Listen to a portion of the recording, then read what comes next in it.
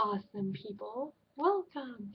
So, everyone's asking me, like, how I got, like, this look right here.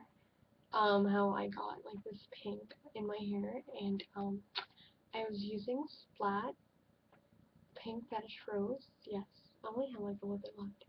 And you just want to bleach, um, the ends of your hair with a foil, and then you just want to add this. I really, really love this product because, like, there's so much of it that, you know, you could just use a lot of it, so I just love it so much.